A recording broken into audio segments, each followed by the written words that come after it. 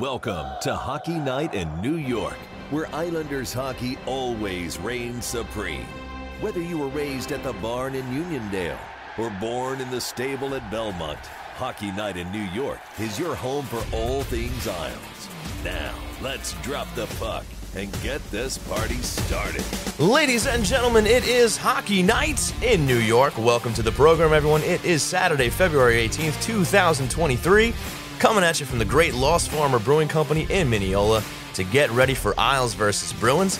If you happen to be watching on YouTube, do not adjust your screens. We had a little tech issue with the audio in the first few minutes of the show.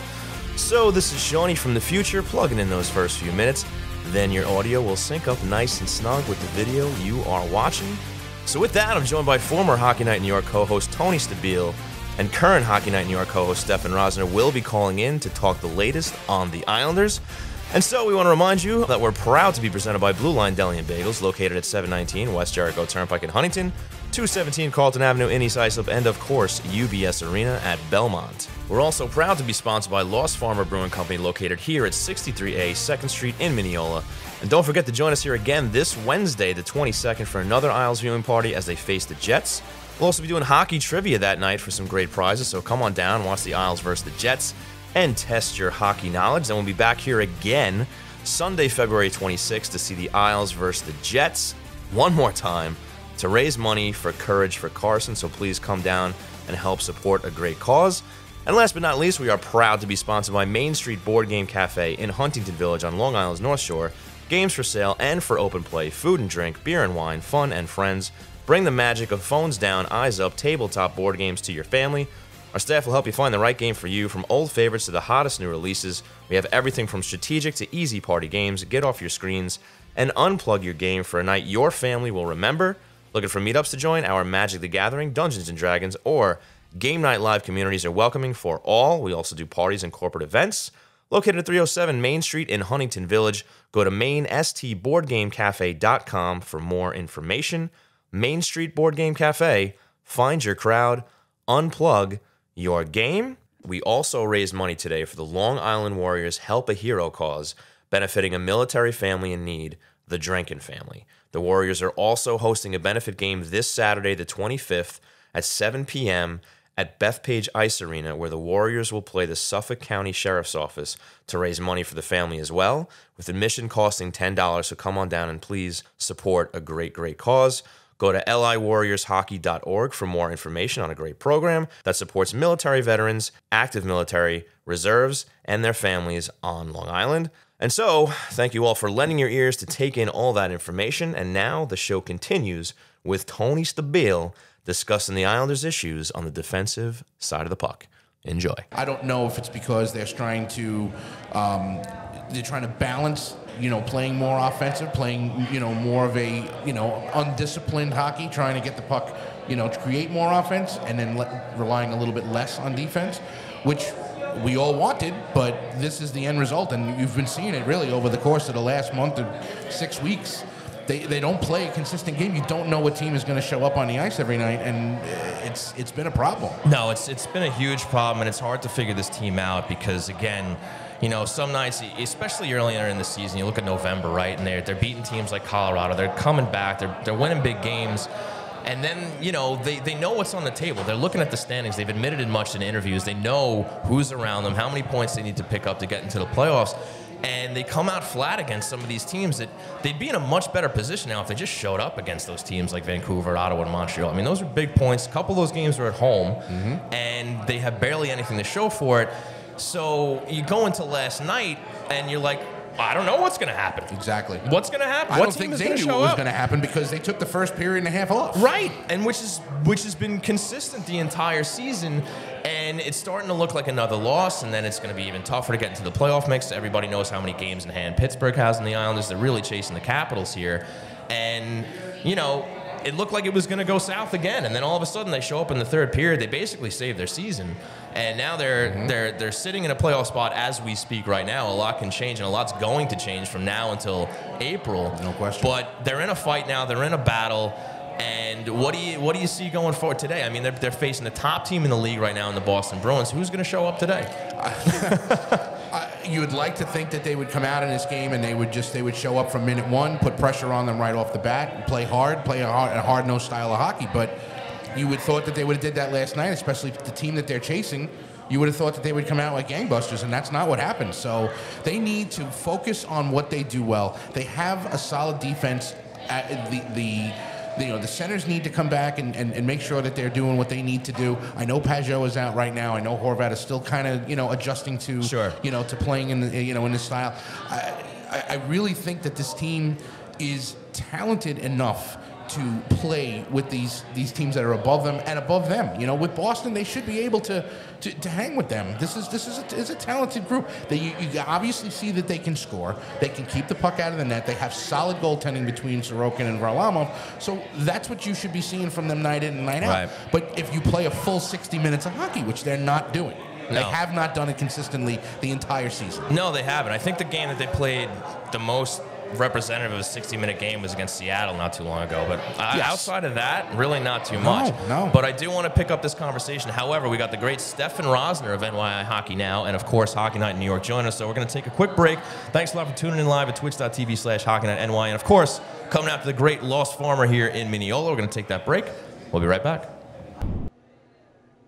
I don't want to hear it. It's over. I can't believe they fell short again. Yeah, but they played so well. They made it to the semifinals two years in a row. The semifinals aren't the cup. God damn it! I hate those lightning. They'll get another shot at it next year. I don't even want to talk about it anymore, all right? They lost, okay? Let me just sit here and enjoy the one thing that makes me a little bit happy. This fresh, delicious, tasty, meaty, turkey-filled Blue Line Combo. I eat three every day to help keep me strong. Hey, Donnie, can I have one of those? Coming right up!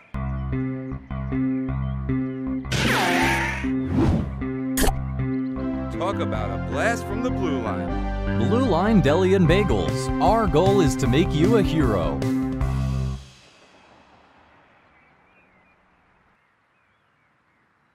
Miss the days of mixtapes and arcades?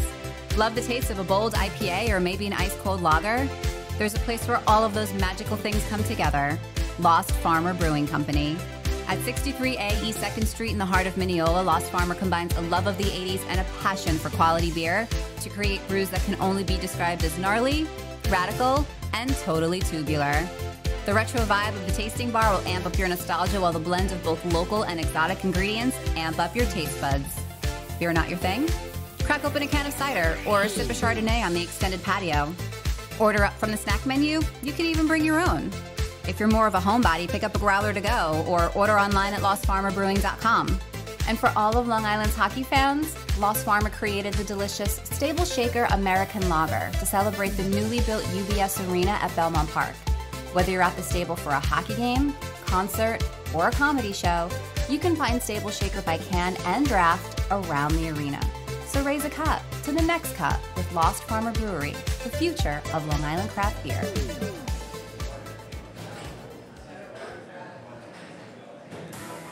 For giving some time to our sponsors. Ready to talk more Isles? The train rolls on right here on Hockey Night in New York. That's right, folks. The train rolls on right here at Hockey Night New York. Coming at you live from Lost Farmer Brewing Company in Mineola. Having a great time here. Joining us from NYI Hockey Now and, of course, Hockey Night New York is the great Stefen Rosner. Stefen, thanks for joining us, bud, up in Boston. How you doing, man? Good, good. Getting some dropkick Murphys on the way up. Shipped up here and uh, yeah, got in this morning. So looking forward to this game tonight. Very nice. Love to hear it. So, listen, Tony and I were just talking about last night's game, talking about how inconsistent this New York Islander team is. You don't know which team you're getting on a nightly basis. They're going up against the top of the league here in the Boston Bruins. What do you make of this game coming off a, a pretty uh, emotional victory last night over the Penguins? I think if there was any time for a team like the Islanders to carry momentum into a game, tonight would be the night. Obviously, Boston's the best team in hockey. If the Islanders come out flat like they did last night for 45 minutes, they're not going to have a chance to come back. The Pittsburgh Penguins, as much as the Islanders won last night, Pittsburgh Penguins had chances to put that game away early. They did not. Islanders have to come out strong, or this is a Boston Bruins team. I mean, they just defeated the uh, Nashville Predators 5 0 the other day. They could do the same thing tonight. So, yeah, carrying momentum is going to be critical, especially with two guys missing. Hey, Steph, how? Um, So we're uh, we- we're talking about we're, talking about the inconsistency of this team and the big change in this team. Uh, It recently has been Bill Bo Horvat. Uh, you could see he's still kind of finding his way a little bit um, on the ice, you know, getting accustomed to his new teammates and whatnot. But he brings so much more than that to the room. Talk a little bit about what uh, Bo is doing uh, inside the room and what you've uh, you've learned from talking to him. Yeah, so first off, awesome guy. Um, obviously, he's a former captain with the Canucks, and he reminds me of Zach Freezy like, where they're not gonna they're not gonna be the vocal people in the room. They're gonna lead by example on the ice. But Horvat said it best. He goes, everyone in this room is a leader. We can all talk. It's been great. He said Anders Lee's been great. He's probably one of his best friends since coming here because he's been so nice since he's got there, texting him immediately, and obviously both the you know, captains, they have a they have that relationship there. But uh, we're about in the room. I mean, he talks after every practice. He'll talk. I think he the other day for like 20 minutes after the game. So he's always accessible, and I think on the ice for sure. Barzal had a different level to his game now. And now that Horvat's here, and Horvat's yeah, like you said, he's finding his way with it. I don't think he was at his best yesterday, but he does so much that goes under the radar. We talk about that with a lot of Islanders, but even the, the defensive zone, I think, is where people didn't really know how good he was. But below the dots, he just he just makes those key plays in games, and it, it's paid off for Barzal and Horvat, and obviously that lead being into that line yesterday really helped as well. Yeah, the instant chemistry between Barzal and Horvat has definitely been huge for this team. Uh, you, you'd like to think it would have resulted in a couple more wins since he's been here, but definitely great to see, especially for the future with the both having these long-term contracts. But you have a couple injuries to the team. You have a couple guys on the men. Josh Bailey goes out. They bring uh, Anders Lee up to the first line. How did you like him next to Barzal and Horvat last night? Well, it seemed like Reed had been playing with Barzal the whole season. Now, obviously, that had been a duo since Trotz got here. Yeah, last year I know he separated him for a little bit, and this year not they didn't play together that much. But I think we did exactly what he had to do. He talked about how his job doesn't change what he's with. With Nelson, he's got to win the pucks down low, crashing that hard, getting those rebounds. And with Barzal and Horvat, the same thing. Horvat obviously shoots a little more now, not to the level that Brock Nelson does, but he's a shooter. And we saw yesterday, and his late his first goal was off, um, you know, a crotch shot, if you will, off Omar, a tee shot, and then his and then his second goal is a deflection off a uh, Matt shot. So I think Anderson did exactly what he had to do, and it, it's good to see. He had no goals over his last five games. He gets two last night. He's a big part of it. He's, you know, as much as you're a leader in the room, you do got to lead on the ice, and I don't think Lee has been as strong as he wanted to be. But last night was just a, a great sign for Lee and for the rest of the team that if this guy gets going, and this guy, you know what he did last year, he can get hot now. Now you have two lines that are hot at the same time. It, you will be able to, you know, counteract the loss of Pageau, how long is, or Bingley, or other guys, especially when the schedule. I mean, they're playing, they're going to be playing tough opponents now, and these are critical games. They absolutely are. And, uh, you know, there's a guy on this team that I feel has gotten a little bit lost in the shuffle recently with Horvat and the way Barzal's been playing, and that's Brock Nelson. I mean, Brock Nelson leads the team in points, 55 points, got 24 goals. He's been playing fantastic. This is a guy who last year took that big step into being a, a consistent offensive player, and he's shown it again this year. I mean, you know, having Horvat and, and Nelson now as your top two centers, you know, th- th- that's that's a luxury right there. I mean, you know, tell me, you know, Nelson, the way that he has responded to taking that next, le- you know, taking that next level. Talk a little bit about the way you feel Nelson has has embraced that second line role and, and, and the offense that he's providing. Yeah, so I think with Nelson last year, obviously, he showed that he could be consistent for a full season. I put that in quotes because he did miss significant time with an injury. And this year, he, he's been streaky. Started off really cold, then got hot, then got really cold. But now he's on a 12 uh, game point streak right now. I think I think he relishes the opportunity. Before that comes here, and I, as much as Nelson's probably the most Islanders' best overall scorer, you know, he, he gets to play now with Kyle Palmieri, who got around to play with in a while, and it's been that's been a big difference for him. When uh, Nelson's line has usually been he's the only guy shooting, and I have a guy Palmieri who's shooting as well. So it just opens up and makes makes it makes um, Nelson just able to do more on the ice. He's got more room. He's got a shot, and for him, it's it's confidence. You talk about the mental hurdle earlier in the year. I think he went the first. I don't know, 10, 8, 15 games, whatever it was, that Carolina game. He hadn't scored a goal yet. He scores two in that one. So, yeah, he's been good in the room, too. I mean, again, I think he was frustrated a lot early on with not getting his shot off. That was the biggest thing. You looked at his numbers. I think in the first 10 games, he had maybe one or two high danger chances. He wasn't getting involved. But again, you know, no one's really consistent for a full 82 game season. And right now, the Islanders need their best players firing all cylinders. and again, Brock Nelson's rose to the occasion for sure. And again, the lines haven't mattered. Whether it be the power play, he's got two powerful goals in his last two games. But I think him and Palmieri have been a, a duo that no one saw really coming. I guess you thought Palmieri would relish with an opportunity with Barzal. That didn't happen. Palmieri gets hurt.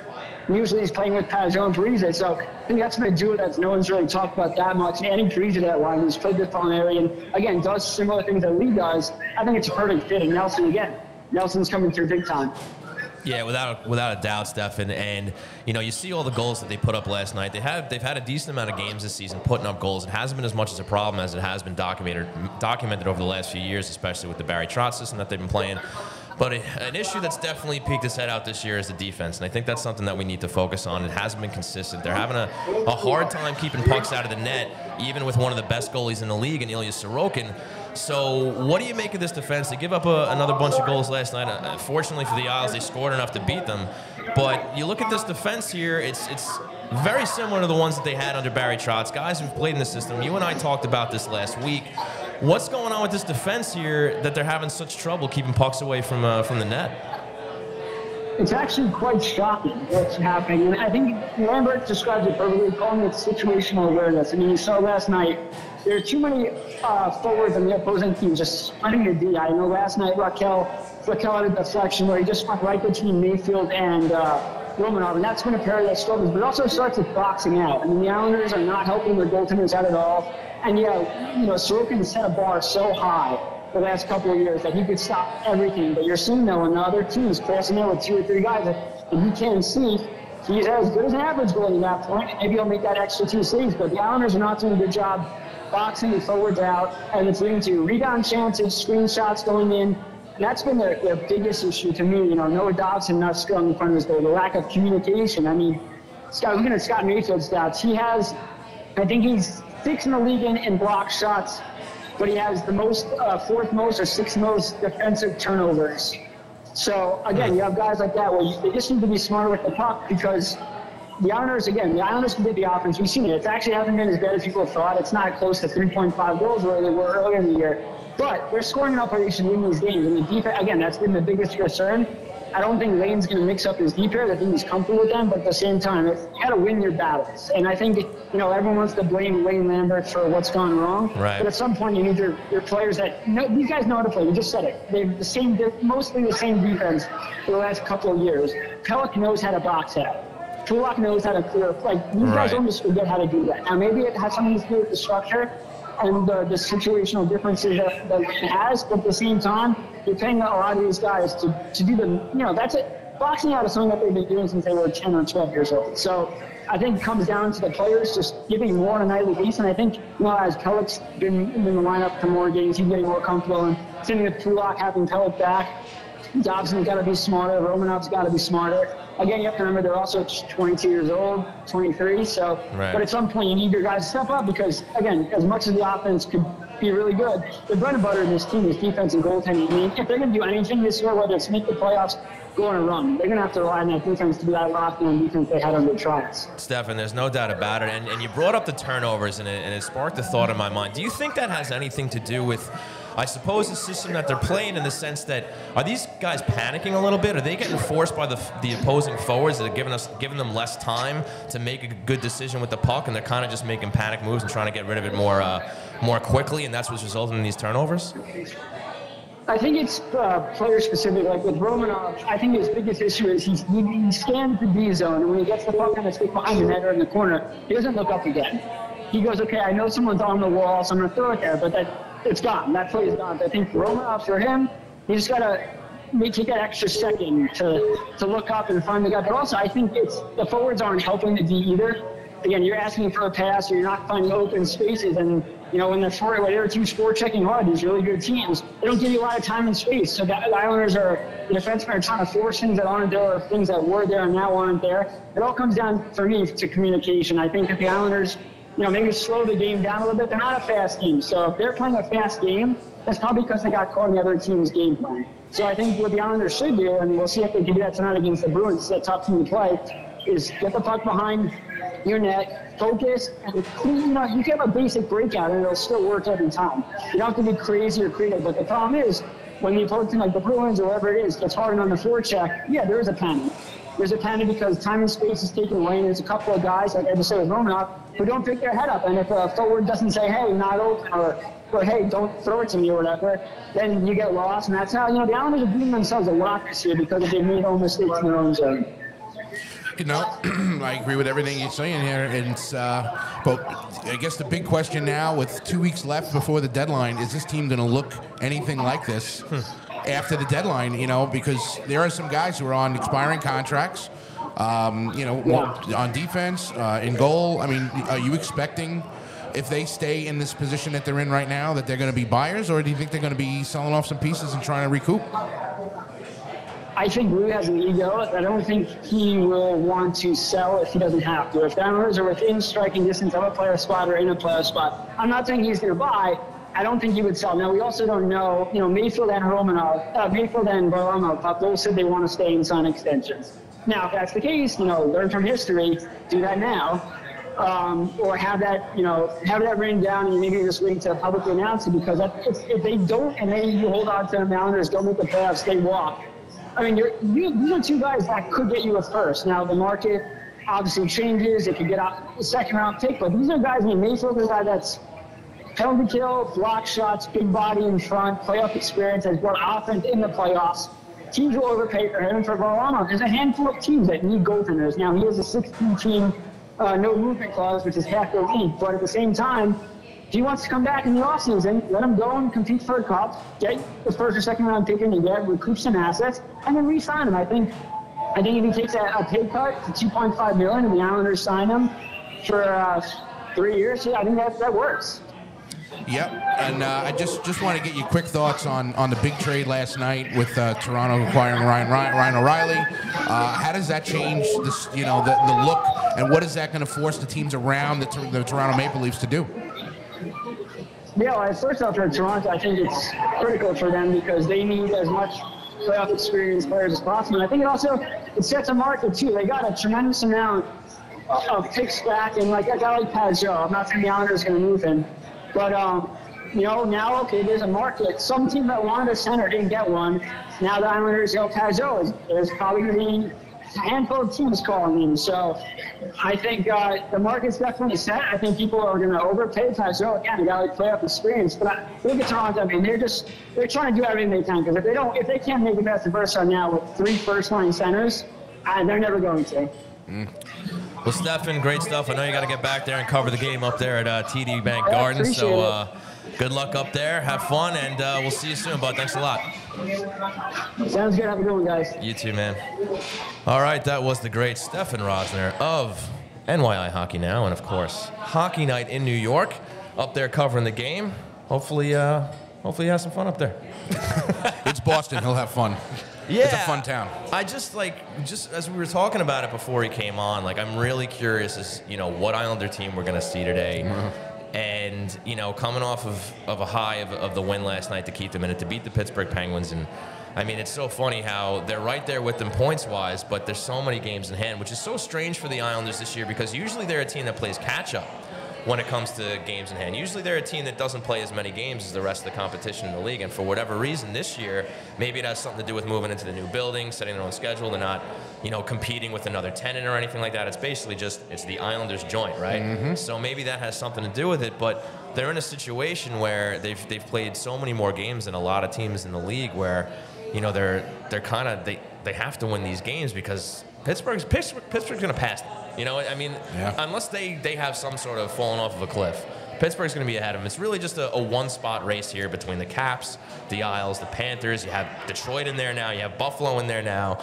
And it's going to be wild watching this race from here on out. And it just makes you wonder do the Islanders have what it takes to beat out all of those teams in this in this race? Yeah, it's a, it's a great question. And, you know, if Pittsburgh gets a goaltender, they're going to be in a much better position than they are right now. Their goaltending has been their Achilles heel this year. Sidney Crosby is having a fantastic season. Malkin's had a great season.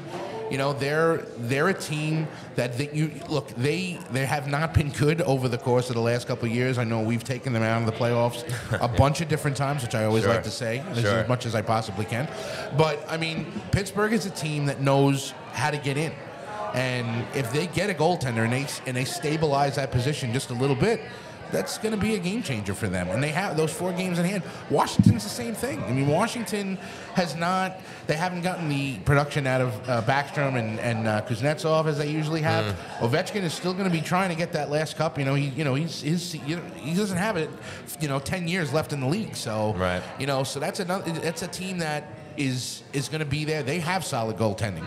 So it's going to be interesting to see what these teams do now. And that's kind of why I asked Stefen that question because mm-hmm. with O'Reilly going to Toronto, other teams now are going to have to, you know, they're going to have to step it up because now Toronto's gotten just that much better. You know, acquiring O'Reilly and Acciari is a good player too, so Right. it's that's a good that's a good move for them. No, it is, and one that I didn't see coming. And and I don't think and now listen, I haven't been watching every Toronto Maple Leaf game, but I, I was kind of of the thinking that defense is, is the spot that they probably still need a little little little more help with, and then go and get a guy like Ryan O'Reilly, who's a leader, who's obviously a very very talented player in this team, and he brings that playoff style hockey that that's another thing that the Toronto Maple Leafs need. He's been there, he's won a cup, he knows what the grind is in the playoffs, and he's a guy that can definitely help them win around. I hate to say it. But um, it is still a little surprising to me that he's the guy that they went out and got. But yeah, they're they're a little scarier now with him in the lineup. Absolutely, and he's uh, one of the top three or four face-off men in the game too. So that that's always you know a, a, a positive for him, you know for them, and uh, you know it's it's he plays a 200 foot game too. He's not just an offensive player. He's you know he, he can you know he can play defense. He's it's that's a significant move, and what and not so much for the Islanders, but for the teams because I think the Islanders made their, their big their their big acquisition for this year. And I, Oh, yeah. and and Horvat's the Horvat move for me is was not just about this year. Like everyone said, you know, oh, they're buying. It's not. Right. It's it's a building block. It got them the opportunity to talk to him before anybody else did. They got him Right. signed to the, the extension, and And the eighth year. and the, the eighth, Yeah. oh, eighth year is huge. Yeah. But you know, the big thing for you know about this trade also is that it kind of forced Barzal to move out of that center spot, which Mm-hmm. we kind of known for a while now that he needed to move out of, out, off off the center off the center position. So by acquiring a guy like that, it's you know he moves, and then he gets to play his game without having to worry about the defense. He hasn't been taking faceoffs for two years now, so. The Horvat move is a big move for the reason of getting him and then being able to move Barzal to a position where I think he can be more valuable. Yeah, I agree, and, and I have to say, I didn't see him getting moved off center coming as much as maybe you did. I mean, I know there was talk about it over the summer when there was the possibility of acquiring Nazem Kadri, and you just thought that that was, at least for me, you thought that was going to be his position for the rest of his career. But you look at his face-off numbers, you look how that's been going, Terrible, terrible. and you can't have him in the dot if, if, if he's not going to improve there. And he's, he's been in the league long enough where if he was going to get any better, he probably would have already. He's a 34% Yeah, faceoff I man. mean, you can't, and you and you replaced him with a guy who's a 53%, which 52, 53% in the NHL. That's elite. So Right, and not only that, but you can't have a guy like that taking you know these big time face-offs, whether it's you know for a power play in the offensive zone.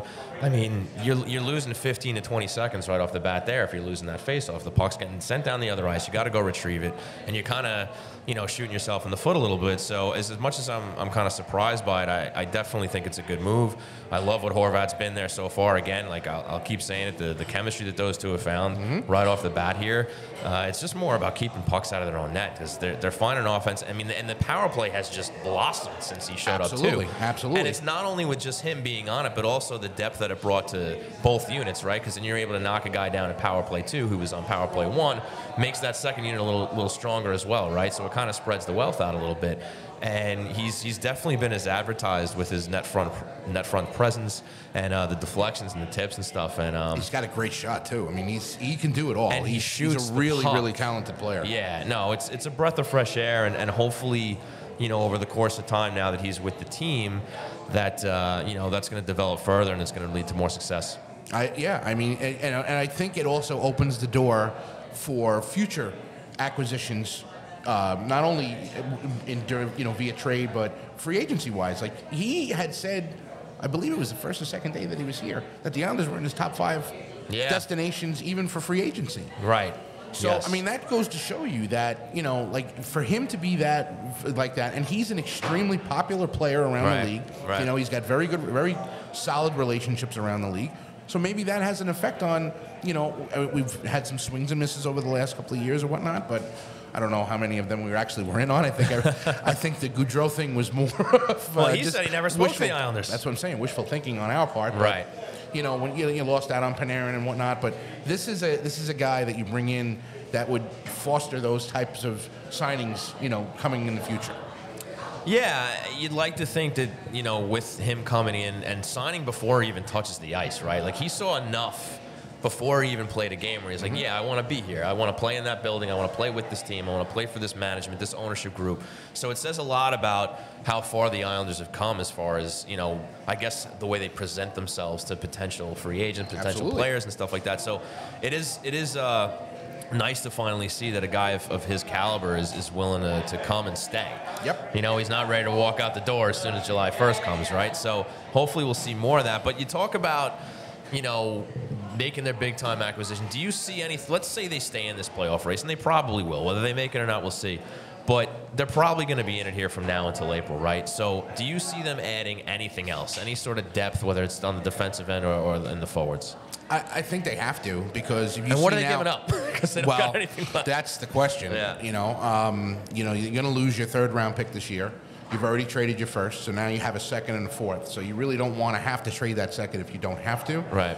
Um, you do have some, you know, some, some prospects. I think I, I, I to this day will, will will argue that bringing Samuel Bolduc up now was uh, was a showcase. You know, Ratu coming up, that was a showcase. Like, that certainly ended up being a showcase. Yeah. Yes, it was definitely a showcase, and it was you know, and it, it, it go. That's the only thing you could do at this point because you have some of these young players who are on the cusp of maybe, maybe being in the NHL.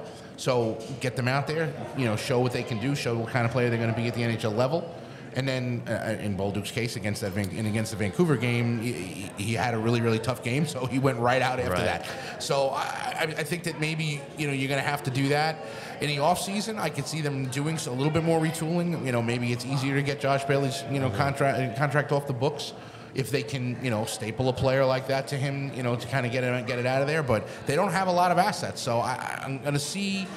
And I'm actually really surprised that teams have been so willing to give first round picks up, considering that this draft is going to be as deep as it's supposed to be. Right. So I'm I'm kind of surprised by that. But look, there's been three big trades already. Tarasenko, uh, Yeah. O'Reilly, and Horvat already moved. Uh, yeah, it's going to be a really interesting week and a half because some of these teams are going to have to respond. Yeah, no, no question about it. Definitely looking forward to seeing what happens there. But uh, once again, I want to thank everybody for hanging out here at Lost Farmer Brewing Company, getting ready for the Islanders versus the Boston Bruins. Going to be a big tilt there at 5 o'clock. And of course, I want to thank everybody for tuning in live at twitch.tv slash hockey.ny. We're going to take another break. We'll be right back.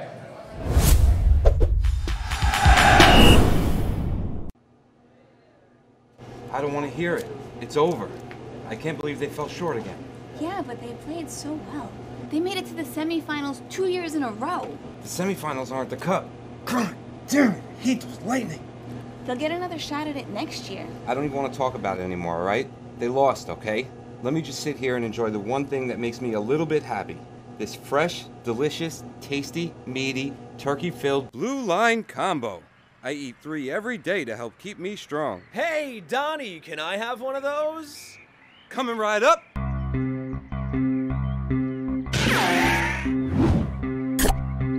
Talk about a blast from the blue line. Blue Line Deli and Bagels. Our goal is to make you a hero.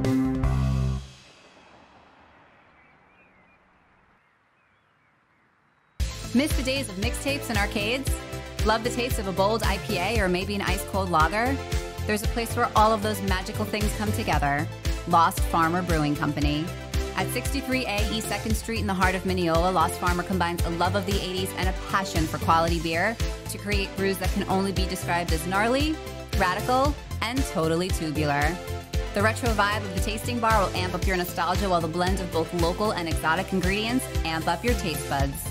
Beer not your thing? Crack open a can of cider or sip a Chardonnay on the extended patio. Order up from the snack menu, you can even bring your own. If you're more of a homebody, pick up a growler to go or order online at lostfarmerbrewing.com. And for all of Long Island's hockey fans, Lost Farmer created the delicious Stable Shaker American Lager to celebrate the newly built UBS Arena at Belmont Park. Whether you're at the stable for a hockey game, concert, or a comedy show, you can find Stable Shaker by can and draft around the arena. So raise a cup to the next cup with Lost Farmer Brewery, the future of Long Island craft beer.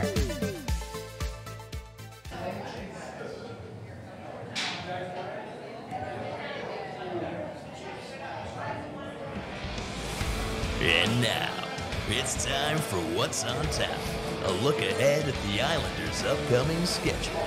That's right, folks. It's time for What's on Tap, a look ahead at the Islanders' upcoming schedule. And what do we have here? Obviously, we have Boston coming up at 5 o'clock, puck drop in just under 20 minutes. Then I'm doing very professional here. I'm reading off my phone. Boston today. They play Pittsburgh again on Monday into Pittsburgh. Then Wednesday, the Winnipeg Jets at home, and we will be back here at Lost Farmer Brewing Company for another viewing party. We're gonna do a little NHL trivia that night. Shake it up. Yeah, yeah. Gonna do a little trivia night, so that's gonna be a lot of fun. Sounds then uh, the LA Kings at home again at UBS Arena. That's gonna be a tough one. The Kings revitalized after a short little retool, right? They're looking pretty good these days. They could have Jeff Chychrun. Uh, um, Right, uh, they've been working on Chychrun. that. Jeff Chychrun. Oh my God, his father. Close enough. Dating myself. And then they have the Winnipeg Jets once again on the road, and we'll be back here again for another viewing party. That's right, 2.30. Stefen Ross is going to be here with me. We're going to be checking out the Islanders versus the Winnipeg Jets. We're also going to be raising money for another great cause. So definitely come on down on Wednesday. Come on down next week. Lots of fun here at Lost Farmer Brewing Company. So, Tony Stabile, with that lineup of games coming up, what do you see here? I see a tough. Right, it doesn't get any easier, No, right? no, these these are uh, these are not easy teams to play against. Uh, Winnipeg, look, Winnipeg is a, is a, is a is an offensive team. They have a good goaltender in Hel- Connor Hellebuyck. Yeah. Uh, you know, you know, you got Mark Scheifele, uh, you know, Kyle Connor. Um, you know, they they are they're they're going to be a tough. They're going to be tough at UBS Arena, and they're going to be tough in Winnipeg. That's a tough building to play in. So Right. Uh, that's a tough trip also to get up there. That's Nobody wants to play in Winnipeg. Nobody Not wants even- to go. Not even the players that is a tough trip. When we were in Minneapolis, remember that when we we saw where Winnipeg was in relation to Minneapolis, I was shocked. Yeah. Wow. Yeah. Yeah. So it is, uh, uh, it's that's- cold up there. Yes, it is. I hear it's very cold. I don't think they're in the top five for most players free uh, free agent destinations. I can assure you and it's that a shame. it's not. Yeah, it is. But they're they're a victim of geography. it's, it's kind of apparent why they moved to Phoenix the first time. So, Right. but uh, hey, look, you got Pittsburgh again on Monday. You absolutely know you're going to get in that game. You're going to be in Pittsburgh this time, so they cannot have the start that they had yesterday. They need to, you know, come out and really, really play hard at 60 that 60 minutes. And look, they, they've had success against Pittsburgh, so they have to continue to do that. They have to continue to be able to take those points because every time they play them, this is that's it's you know it's it's a four point game. Like it's you, you need to take those points. yeah, and you never know over the course of the last twenty or some odd games. You might end up seeing them catch them, right? Especially if they win these head-to-head games and Pittsburgh maybe you know falls off a little bit, lose a game here, lose a game there. Then all of a sudden maybe they're an option for a team for the Islanders to leapfrog as well, Yeah. where they're not just t- chasing that second wild card spot. But I mean, you can't really dream of uh, you know a divisional spot at this point, right? One through three, those are pretty much locked up. Right. So you just got to hope to uh, you got to pick your poison here, right? You're basically either facing Carolina or Boston in the first round. I don't, I don't know who I want to face I- more, honestly. neither. If they get in. Neither. Yeah, that's well. We'll worry about that if and when the time yeah. comes. But Mhm. but yeah, look, it doesn't get any easier for the Islanders here. It's going to be a tough slate, but. Look, if they keep showing up like they did last night, albeit late in the game, Mm-hmm. but if they keep showing up and winning these games, they'll be in it. They'll give us something to watch and, and something that's you know exciting here. And look, I mean, you have some fans already that are saying sell, sell, get rid of guys, get whatever uh, you know assets you can out of these guys, trade Varlamov, trade Mayfield. I'd like to see them go on a little run here, make the playoffs, see what happens. You never know, especially with a goaltender like Ilya Sorokin, what this team can do in the playoffs. And and I'm very curious to see what sort of adjustments Lou, uh, Lou I almost called, called him Lou Lambert, Lane Lambert makes if and when they get to the playoffs to play that playoff style hockey, maybe some of that Barry Trotz style hockey, because then maybe they can frustrate a team like Boston or Carolina. Uh, yeah, well, that's going to be the only way they're going to be able to do it. You know, you're going to hope that the, the defensive core that you have, which, as we talked about with Stefen, is that this is this is a you know a, a core that has gone deep into the playoffs multiple times. You're going to hope that that you know once you get into the playoffs that that snaps in and they start playing the type of hockey that they played under Barry Trotz, but. It's a question mark at this point because we haven't seen a whole lot of it this year. No, absolutely. Well, that was what's on tap. A lot of big games coming up, and now we're going to go into the hero of the week. So, ladies and gentlemen, when you hear this song, that means it's time for the hero of the week, brought to you by the Blue Line Deli and Bagels half price hero, which this week is the White Whale, named after the man himself, Ilya Sorokin, featuring chicken cutlet, gravy, onion rings, bacon, fresh mozzarella on a toasted garlic hero. Show up to Blue Line Deli and Bagels flagship location in Huntington, mention Hockey Night New York, and get half off the White Whale. Not a bad deal, right? I might go there right now. So, Tony Stabile, who's your hero of the week? Well, it's one of my favorite players on his team, and it's Zach Parise. I mean, Okay. Zach Parise hits, Okay. gets his 1200th game last night, scores a goal in the game. Uh, this this guy at 38 years old is is a tireless worker. He is a joy to watch play. Old style kind of a player is is able to. He's had 15 goals this year. I, I, just I love watching him play. I'm so glad that he's he's been on an, in the Islander uniform for the last two years, and I honestly hope they bring him back. He's great. Yeah, you know, and, and, and actually, I'm right there with you, buddy. I went with Parise as well. Big, big goal last night. He gets the 1200th game, gets the game puck there. And, I mean, if only they had this guy in his prime, right? Oh God, please don't even get me started. Because uh, what a, I didn't know what a workhorse he was. You know, Mhm. like I knew he was a great player. He had a lot of great seasons playing in Minnesota, playing in New Jersey, and you always see the point totals. You know, you play some fantasy hockey, right? You always see his numbers up there. But if you're not focusing on those teams, you, you don't necessarily know their game front to back, right? And he's come to the island here again, like you said, 38 years old. My God, and doing what he's doing. And he busts his ass on every shift. Yes, he does. He does not take a shift off. And even though he doesn't have a letter on his sweater, I mean, what a leader to have in the locker room like that, right? Mhm, absolutely. Who's, who's uh, you know, he's gone deep in the playoffs. He's uh, played on a lot of successful teams, and uh, he sets a great example for the younger guys in this squad. So yeah, Zach Parise, buddy. Yeah. Hero of the week. I love it. Yeah. Love it. There you have it, folks. So once again, stop on in to Blue Line Deli and Bagels flagship location in Huntington on Jericho Turnpike. Mention Hockey Night New York and get half off the White Whale. There you have it. So let's see you here. We got about 12 minutes until puck drop on the Islanders versus Bruins. So Tony, I'm going to swing the question that we, we, we tossed at Stefen earlier. I mean, you, you have you have a coach who was with Barry Trotz, knows the defensive system that they played back to front. They had a lot of success with it. They went to two conference finals, two semifinals, whatever you want to call it, right? Under that tutelage, I mean, yeah, a couple of names changed and the head coach changed, but why are they having such a hard time defending compared to when they in, in years previous?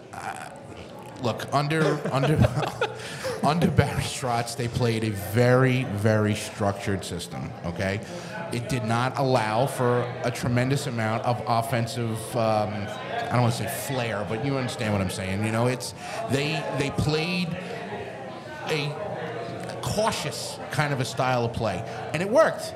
It's it's a hard working it's a hard working style of play, but everybody and their brother said that oh okay well the Islanders need to score more goals in order to, to get to the next step, even though they were a goal away from making the Stanley Cup Finals just you know what three years ago two years ago, so you you wanted to see them try to maximize their offensive potential, which they really weren't doing under Barry, and now you're seeing that, but yet now you're seeing the defensive uh, deficiency that comes along with that style of play. You know, you're not playing the cautious game. You're not, and you know, and as Stefen said also, we talked about earlier, this is not exactly a fast team.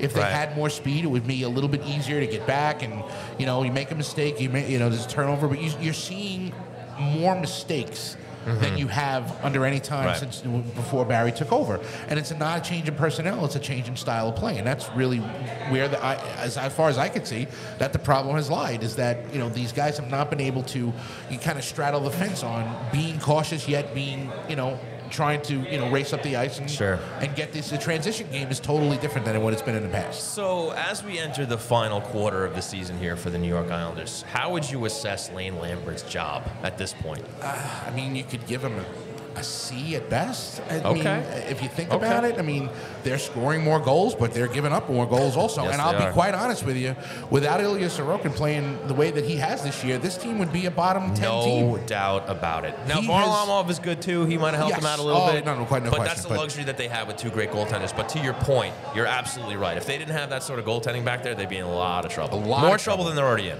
Because I okay, so I was at the Vancouver game just recently. Okay. and uh, and as bad a night as Ilya Sorokin had, okay, it could have they could have scored eight or nine goals in that game. You, I mean, Sure. that's it's it's totally different. It's totally different. And you know, it's sometimes the grass is always greener. Oh, we want more offense. Oh, we want you know we want to be able to win games six five or whatever. Or you know we'll still play the same defense but yet be able to score. It's not that way. There's a fine line that you have to kind of straddle, and they're not they haven't figured out how to do it yet. Hmm. And Lane has not figured out a way to get them to do it either. So Right. yes, the players do. You know, Ro- Romanov the other day said that you know he hasn't been playing his best hockey.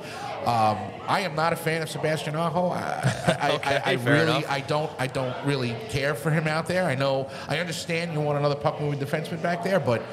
That's a spot that if you're going to look to, you know, upgrade. That's a spot right there. You well, want I'm to look glad you brought that up because you talked about Bolduc earlier, saying they might be showcasing. Why would they be looking to unload a guy like him when they're already kind of scrambling to fill that bottom pairing, right? They still haven't figured it out. They've been rotating through Aho, and Salo's been a man missing since the beginning of the season. I think he's hurt now, but Okay. I think he's hurt. But even still, they've, they've cycled through a couple of different guys who obviously haven't cemented themselves in there yet. So, like, why you, how could you deal a guy like that when, you know, it's kind of a point of weakness already? I feel like you got to bet on him and hope that he can eventually take that spot. the the only reason why I say it is because and and it's the one factor that no other hockey team in the NHL or GM is going through, and it's that Lou Lamoriello is 80 years old, and he cannot wait another year or two to get to that point to have his team as a Stanley Cup contender. So, in order to upgrade, you may have to, you know, deal what you have, and that's really all that he has at this point because they're out of picks.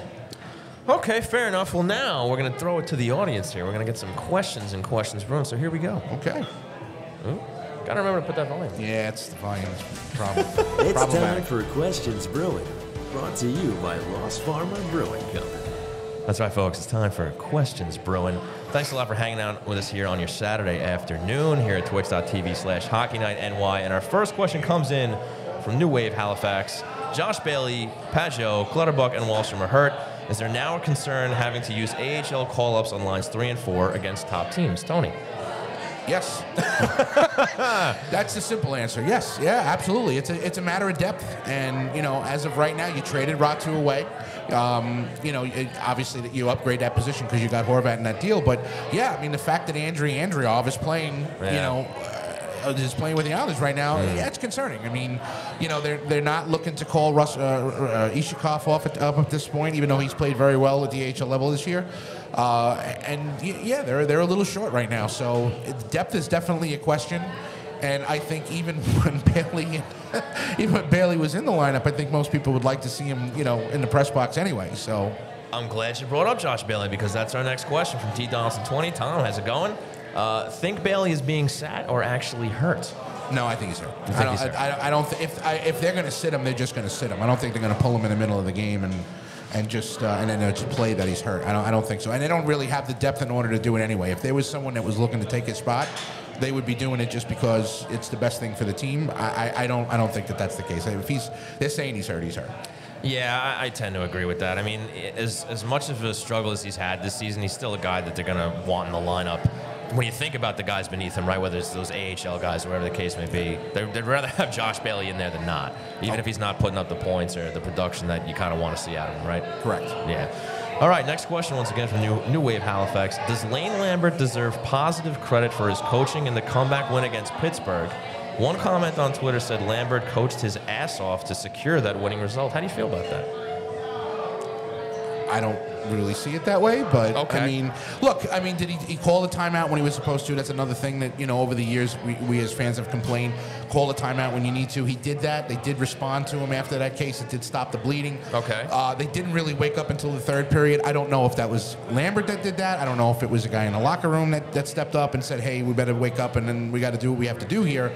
But uh, I don't know. I, I don't know if I would give Lambert that because after that after that practice that he had, that he was uh, you Right. know, A lot of talk about that, Yeah, yeah. didn't really respond all that No. well to it on the ice. So um, you know, I, I'm not really I'm not really there yet. Yeah, I, I really don't know how to how to weigh Lane Lambert yet. Uh, You know, like I, definitely it's more disappointing than not. I, I expected more out of this team this year, and they've been struggling just to hang on to the to the playoff battle, let alone a spot, right? And I'm just not sure how to grade this guy yet. You're giving him a C, and I'd probably be right around there too.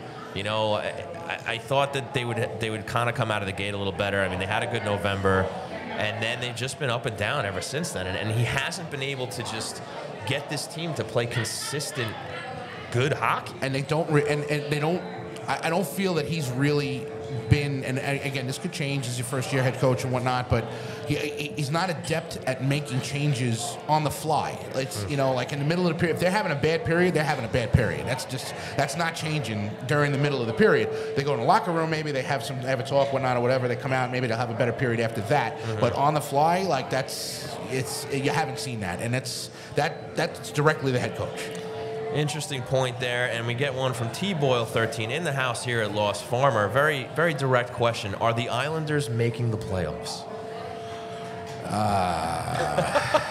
that might be the toughest question we've had tonight. Uh, I I don't think so. I, I really don't. And I I'll be I'll be honest with you. The teams that are ahead of them are they're just better. They've been playing better all year, and they have assets to make more moves. So. You know, with the the current injury situation that they that they have, I mean, you have Holmstrom, Holmstrom that's playing. He's playing seven minutes a night. You know, he's Right. playing 10 minutes a night or less, and that's mm-hmm. your third line, you know, Right. winger. Eventually, these guys are going to start to wear down because of the injuries and being able having to play them 20, 22 and that minutes is something new that Lane Lambert's doing here that Trotz never really did during his tenure. It was he's starting to weigh heavily on the lean heavily on the top two lines. Yes. Whereas Yes. usually you saw the the four line rotation. Now, granted, obviously your top lines are going to get a little more time here and there, but it's it's been the most disparate as it's, as it's been since I've seen in a very long time, where he's really leaning on those lines at the top. So he's he's not trusting his bottom his bottom six as much. Well, his, his his fourth line is is incomplete at this point. You know, Yeah. you have you have Clutterbuck who has not been able to stay healthy. You know, and this was the question that we had with Clutterbuck. You know, leading up to this, you know, to his contract extension. He plays a style of hockey that a five foot ten guy is not going to be able to continue to play over the course of a 15 year career. Sure. So he's been out of the lineup. Cizikas has been, you know, you know, has been his normal self. Martin is not as as effective when when uh, um, when Clutterbuck is not out there, and then you have Ross Johnson as 1.1 million dollars salary that they only play seven to ten times a year. So Right, I mean, it's a wasted roster spot if you you know if you if we're really talking about it now. Yeah, there's been a lot of debate over that roster spot for a long time. Yeah, but it's- I don't know. I mean, look, I mean, we've talked about it a lot on the show, It's but JF Berube all over again. if you think Wow. about it, like he's just That's the he's name I haven't heard in a long time. Well, I know, but I mean, it's it's really what it is. He just he doesn't play. Well, last one coming in from Twitter from Michael. Do you think that Clutterbuck and Wahlstrom are done for the season? I, all indications seem to point that they're they're out, right? They're not coming back. I don't think. I, th- I think that uh, they haven't announced anything on Wahlstrom, but I mean, there's been more than a few whispers that he's out for the year. And Clutterbuck, look, every time he comes back, he plays five or six games and he's off again. So, I it- whatever is nagging him at this point, just let him sit until he's 100% or at 90% at least, because it doesn't seem like he's been to that point yet this year. Yeah, I guess so. Well, that's going to do it for Questions Brewing, and that's also going to do it for us here at Hockey Night in New York because the puck is about to drop on Islanders versus Bruins. So, once again, I want to thank everybody for coming out to Lost Farmer, everybody tuning in. We're going to head on out. So, folks, once again, thank you so much for hanging out with us here at Lost Farmer Brewing Company here in Mineola, getting ready for Islanders versus Bruins. Big thanks to Stefen Rosner of NYI Hockey Now, and of course, Hockey Night in New York. And a big thanks to you, Tony Stabile, for coming out. Been a long time, pal. It has Great been a to long have time. you here, bud. I, it's been great. I've, I've really and thoroughly enjoyed myself. I'm glad to hear that. Uh-huh. And of course, a big thanks to our great, great sponsors, starting with Blue Line Deli and Bagels, located at 719 West Jericho Turnpike in Huntington, official partner of the New York Islanders and the greatest deli around. Check them out at BlueLineDeli.com. And a huge, huge thanks to Lost Farmer Brewing Company, not only for sponsoring the show here, but of course, giving us the presence here to do the show, a little pregame show here. Great, great time. If you're not here yet, get on over here for Islanders versus Bruins. The puck is about to drop. Check them out at lostfarmerbrewing.com. They're located at 63A 2nd Street in Mineola. And a big thanks to Main Street Board Game Cafe, located at 307 Main Street in Huntington Village. Check them out at Main ST Board Game Cafe. Com. And also, if you're here hanging out with us at Lost Farmer, once again, we're doing some raffles and prizes here. We're raising money for a great cause, the Long Island Warriors. Help a Hero. That's going to be helping out the uh, Drenkman family. So please get involved, buy some tickets, raise some money for a great, great cause. For Tony Stabile, for Sean Cuthbert, for Lost Farmer Brewing Company, we've been Hockey Night in New York. Thank you so much for checking us out. We'll see you next week.